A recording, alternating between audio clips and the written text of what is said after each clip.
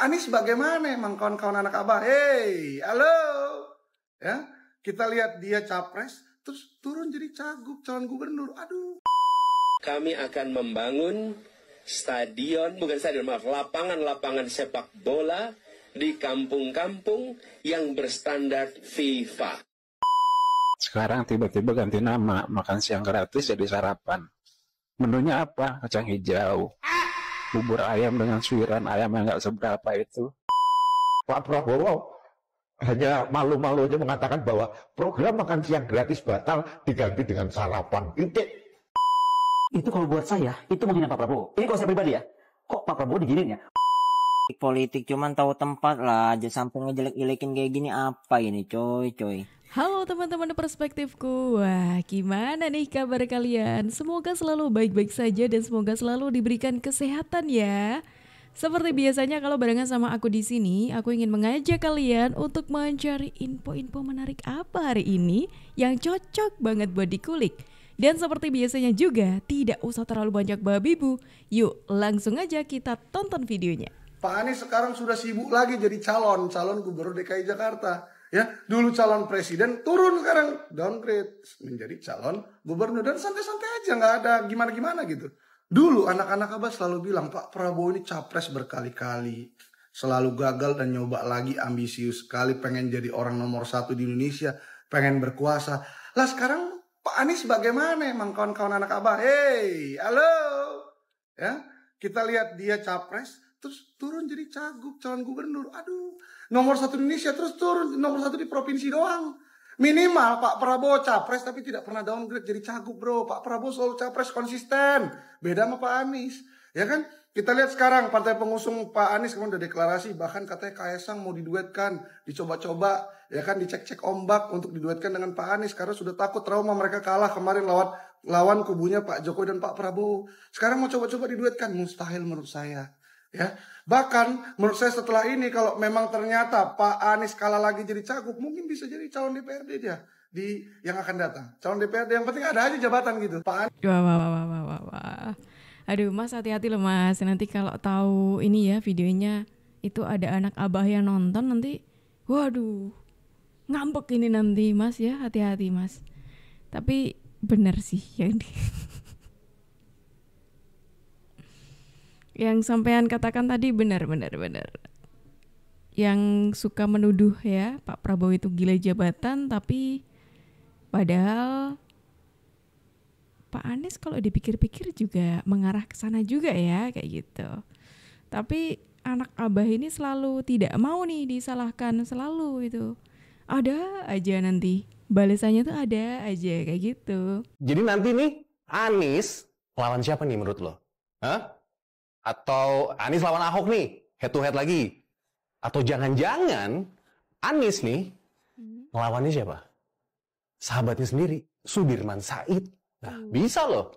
Atau Be- be- be. Anies didukung sama PDI Perjuangan untuk berhadapan dengan Ridwan Kamil. Ayo, yang diusung Kami ingin agar sepak bola ini tumbuh. Jadi apa yang kami ingin lakukan? Kami akan membangun stadion, bukan stadion, maaf, lapangan-lapangan sepak bola di kampung-kampung yang berstandar FIFA. Bro ini ada ada tweet jahat lagi nih. Ini dari Baja Muda. Anies hanya pandai ngomong, tapi hasilnya tidak ada. Itulah yang disebut tong kosong bunyinya nyaring. Hmm. Hmm. Kau ingin, aku ingin. Hmm, pertama soal FIFA, soal lapangan FIFA tadi ya. Ya, kita doakan aja ya, teman. Tahanjub, tahanjub. Ya, kita doakan aja ya, teman-teman ya. Semoga kalau nanti Pak Anies ini terpilih ya, itu bisa terwujud nih soal lapangan FIFA ya standar FIFA di daerah-daerah keren tuh nanti bakal keren banget pastinya ya kan uh keren pokoknya terus soal yang banyak omongnya yang seperti tong kosong nyaring bunyinya. Hmm, kalian aja deh yang komen gimana? Yuk langsung tulis di kolom komentar. Butuh pemimpin demokratis, bukan memberi makan gratis. Luka itu memang terlalu berat untukmu. Terlalu berat. Ini nih, yang selalu disinggung oleh anak abah itu adalah soal makan gratis. Ya, yang selalu disinggung oleh anak abah itu makan gratis ya. Ya, mungkin nanti yang selalu disinggung oleh anak abah itu soal makan gratis. Jangan-jangan nih, ini kan ini kan Pak Prabowo sudah menjadi presiden ya.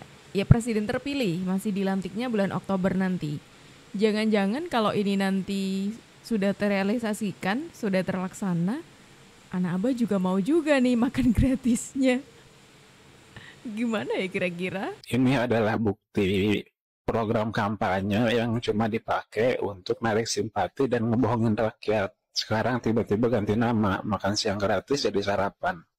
Menunya apa? Kacang hijau. Bubur ayam dengan suiran ayam yang nggak seberapa itu. Yang telur bisa dibagi empat. Bergizinya di mana? Pak Prabowo hanya malu-malu aja mengatakan bahwa program makan siang gratis batal diganti dengan sarapan. Itu, itu saja. Sarapan itu ya kalau namanya sarapan itu ya nggak perlu dengan makanan yang berat. Ya cukup kacang hijau, kacang hitam atau mungkin roti gitu. Cukup namanya sarapan. Teman-teman, setiap warga negara Indonesia bebas berbicara. Ini negara demokrasi. Namun kalau ada hoax, fitnah, dan penyesatan informasi, kita maafkan dan kita luruskan. Kita sama-sama belajar dan kita tidak boleh berhenti belajar. Baik, langsung saja saya sampaikan dua hal. Pertama, Pak Prabowo tidak pernah membatalkan program makan siang gratis dengan sarapan. Yang dilakukan Pak Prabowo adalah mengganti nama saja dari makan siang gratis menjadi makan bergizi gratis. Semua bentuk dan menu makanan adalah sama, hanya waktu pengiriman yang berbeda. Jadi tidak ada sama sekali perubahan dari menu lengkap ke menu sarapan. Nah, kedua, pergantian nama dilakukan setelah Pak Prabowo dan tim melakukan uji coba di beberapa daerah. Contoh uji coba di Sukabumi. Di sana ada SD kelas 4 sampai kelas 6, sekolahnya sampai jam 12. Jadi makan bergizi gratis dikirimkan jam 9 untuk dimakan jam 9.30 pada saat istirahat. Ada juga PAUD dan SD kelas 3 sekolah sampai jam 10. Jadi makan bergizi gratis diberikan jam 7 pagi. Nah, satu lagi ada juga SMP dan SMA masuk sampai sore. Jadi makan bergizi gratis dikirimkan jam 11.30 untuk dimakan jam 12 pada saat istirahat. Jadi tidak ada sama sekali perubahan dari menu lengkap ke menu sarapan. Terima Tolong didengarkan ya untuk kalian-kalian semuanya. Semuanya yang menjadikan permasalahan ketika Pak Prabowo itu menyebutkan ya, mengubah namanya dari makan siang gratis ke makan bergizi gratis. Tolong dicatat ini sudah diluruskan oleh masnya ini, oleh bapaknya ini ya. Kalau kita menerima informasi, dilengkapi informasinya, jangan dipotong-potong informasinya. Jadi kalau kita memotong-motong informasi, kita nggak tahu lengkapnya itu kayak gimana. Itu yang pada akhirnya berpeluang untuk kita mendapatkan informasi yang tidak benar, kayak gitu. Karena kita tidak melihatnya sampai akhir karena ya zaman sekarang itu pasti di dalam sebuah video dalam pembuatan video itu ada framing yang dibangun nah itu yang biasanya ada di awal dan yang biasanya sering ditangkapnya sampai situ aja penjelasan lengkapnya itu tidak kita dapatkan karena kita tidak melihatnya sampai akhir melihat informasinya harus lengkap ya teman-temanku Ternyata pidato Gibran ke Prabowo seperti penghinaan. Gibran ini memang mengguncang Indonesia. Tetapi nggak usah juga dia mengeluarkan video yang kok takut sama saya. Aku kesel banget tuh. Karena pertama dia masih muda banget ya. Gibran ini masih muda sekali. Ketika dia menghampiri Pak Prabowo pada saat mau announcement ngomong, tenang Pak Prabowo, saya datang, saya di sini. Itu kalau buat saya, itu menghina Pak Prabowo. Ini kalau saya pribadi ya. Kok Pak Prabowo diginin ya? Orang yang sudah pernah perang di Timur Timur, sudah pernah harus mengungsi, lalu kembali ke tanah air ya kan, dengan sabar dan persisten melewati tiga tahapan, kalah lagi, maju lagi, kalah lagi, itu itu nggak mudah.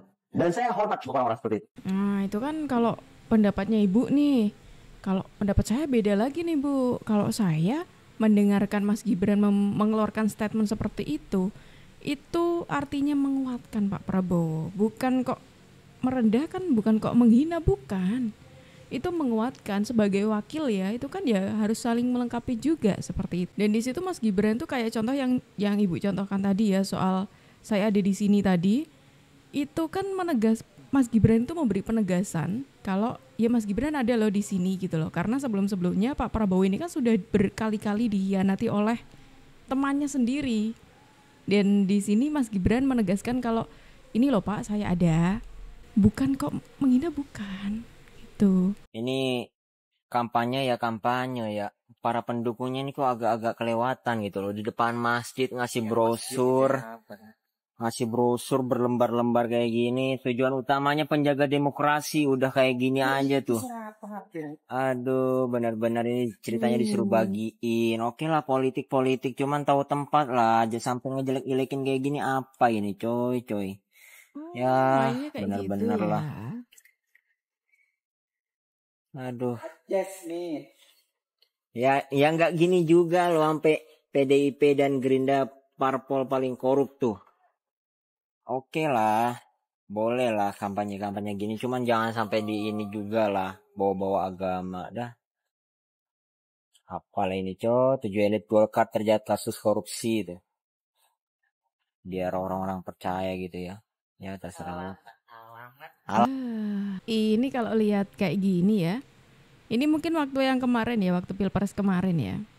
Polanya tuh sama kayak sekarang. Kayak yang baru-baru ini loh kalau kalian inget ya, kalau kalian sadar juga. Polanya menjelekkan orang lain ya, menjelekkan lawannya.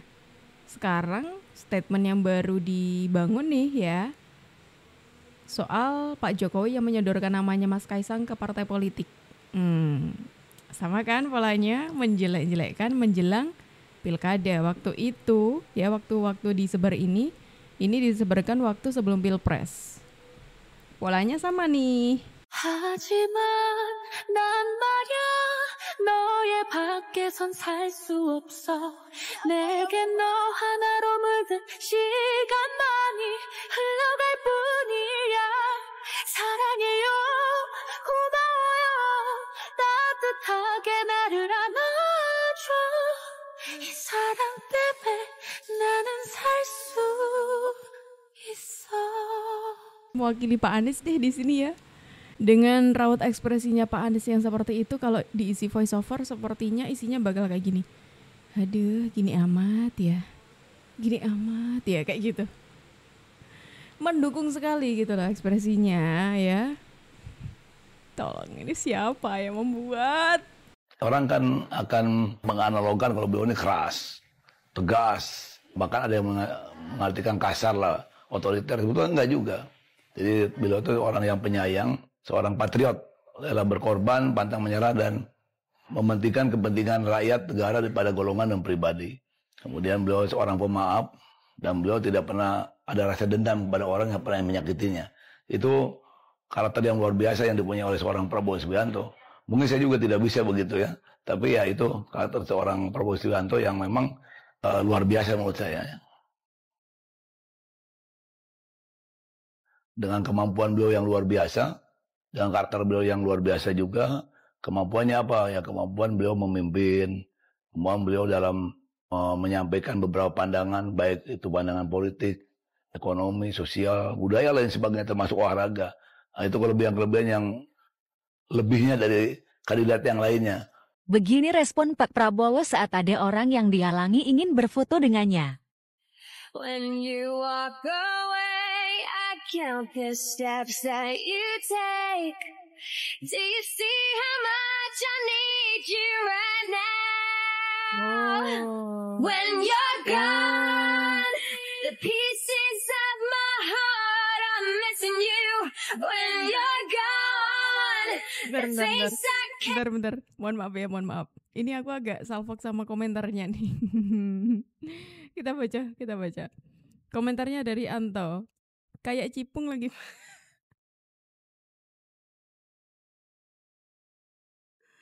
Kenapa sih orang-orang ya Allah? Kayak cipung manggil Farel Pray.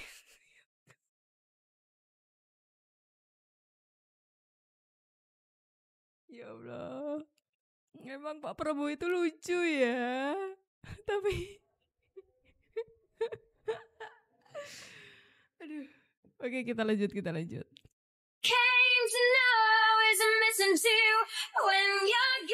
Wow, ini bukti Pak Prabowo tak terpisahkan dengan rakyat.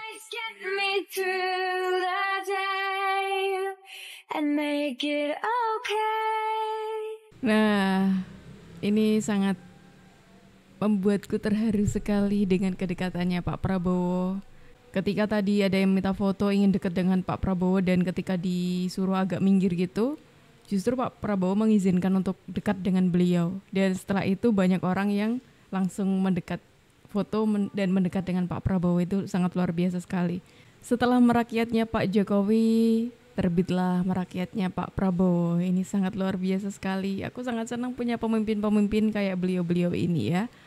Dan teman-teman perspektif, sayang sekali kita harus akhiri dulu nih video kita hari ini sampai di sini. Tapi nggak apa-apa karena besok kita akan ketemu lagi. Terima kasih ya untuk teman-teman yang sudah menemani aku dari awal sampai akhir. Aku pamit undur diri dulu. Sampai jumpa dan terima kasih.